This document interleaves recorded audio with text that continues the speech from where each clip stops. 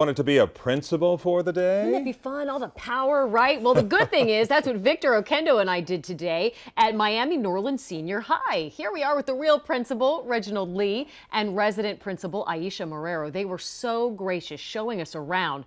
The school, by the way, if you haven't seen it, it is brand new. It underwent a major transformation, and you can really tell all of the students love all of that new technology in the classroom. Vic and I made a lot of new friends.